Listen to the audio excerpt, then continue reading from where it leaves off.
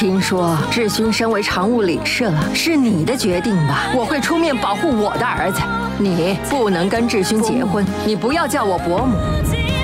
你又是谁呀？嘿，我想也许会有帮助才找他来。这个人听说跟江慧秀有点交情。喂，你好，这不是江慧秀的手机吗？哦，这里是医院啦。这只手机的主人好像把包包忘在这里了。我看最近的通话记录是你就打来了。你跟患者是什么关系？我是他先生。你这个做先生的怎么可以这个样子？太太在做那么辛苦的治疗，你怎么从来不陪她来？她得了什么病？你是先生，竟然不知道太太正在生死间徘徊吗？你说什么？周一至周五晚间十点，结婚契约。